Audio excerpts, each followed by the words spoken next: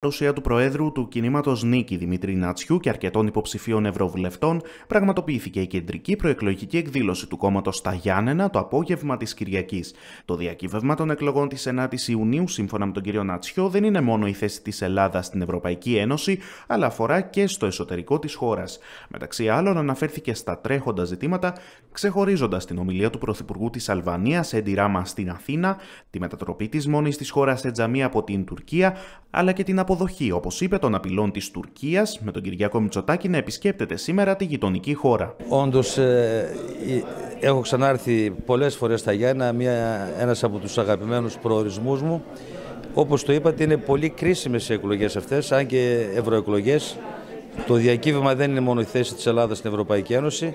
Ουσιαστικά είναι και εσωτερικές εκλογές και νομίζω έχει πλέον διαμορφωθεί η άποψη ότι η κυβέρνηση η ανίκανη αυτή κυβέρνηση της Νέας Δημοκρατίας θα λάβει ένα ηχηρό μήνυμα, ένα ηχηρό χαστούκι από το λαό μας για όλη την αλαζονική συμπεριφορά της τους τελευταίους μήνες με τα νομοσχέδια, τα ξέρετε να μην τα πω, αλλά κυρίως για την πλήρη αποτυχία στα εθνικά θέματα. Αυτές τις μέρες βιώνουμε τραγωδίες κυριολεκτικά εθνικές που περνάνε στο απειρόβλητο. Αναφέρομαι στην επίδειξη δύναμης που έκανε μέσα στην πατήδα μας ο Πρωθυπουργός Αλβανίας ο Ράμα, που συγκέντρωσε στην Αθήνα Αλβανούς, έφερε και από την Αλβανία και μάλιστα το σύνθημα που ακούστηκε ε, πιστεύω φτάνει τα όρια της προδοσίας γιατί το ανέχτηκαν οι κυβερνώντες ότι η Ελλάδα νίκη και στους Αλβανούς έκανε αναφορά και στους ε, τσάμιδες, στους εγκληματίες τσάμιδες.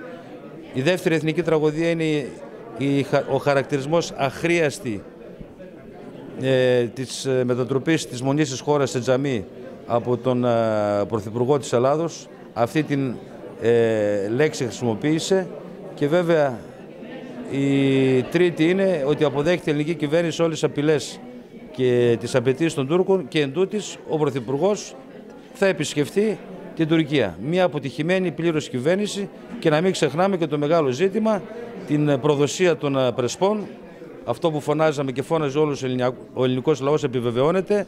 Η προδοτική κυβέρνηση το, του ΣΥΡΙΖΑ μαζί με την προδοτική κυβέρνηση της Νέας Δημοκρατίας, δεν έχω κανένα πρόβλημα να αναφέρω αυτά τα ονόματα, δέχτηκαν και αυτοί το απόλυτο, τον απόλυτο εξευτελισμό με την επιλογή της, ε, του το ΒΜΡΟ στην ηγεσία των Σκοπίων. Νομίζω ότι είναι λαμπρή ευκαιρία ο λαός να τιμωρήσει παραδειγματικά και να αρχίσει το ξύλωμα όπως και του ΣΥΡΙΖΑ και της Νέας Δημοκρατίας και να κυβερνηθεί επιτέλους ο τόπος από Ρωμιούς, από Έλληνες. Να τελειώνουμε με αυτούς οι οποίοι είναι και ανίκανοι και μειοδότες στα εθνικά θέματα. Κύριε Νατιέ, ε, η νίκη πηγαίνει στις κάλπες της 9ης Ιουνίου με παρακαταθήκη το ποσοστό των εθνικών εκλογών του 2023. Ο εκλογικός στόχος που έχει τεθεί ποιος είναι; Ε, όπως έγινε θαύμα θα έλεγα μέσα σε εισαγωγικά η λέξη θαύμα τον Ιούνιο και φτάσαμε στο 3,7 νομίζω ότι και σε ευρωεκλογές, λαμβάνοντας υπόψη και αυτά που ανέφερα πριν για την ε, τσαπόλης που θα έχει η κυβέρνηση εξαιτίας τη άφρονης πολιτική τη, νομίζω ότι, δεν, ότι είναι εφικτό για μας να πιάσουμε και διψήφιο νούμερο στις ε, ευρωεκλογές. Και θα, ε, θα συντελεστεί και το δεύτερο θαύμα. Μεταξύ των υποψηφίων Ευρωβουλευτών που συμμετείχαν στην εκδήλωση ήταν η Κωνσταντίνος Κυριακού, Κωνσταντίνος Μπαλιάκας, Κωνσταντίνος Χατζηδάκης, Φιλοθέη Μακρυδάκη, Δέσπινα Ιατρίδου, Δημητρή Σιωτακάκο και Ζωή Τσαρούχα.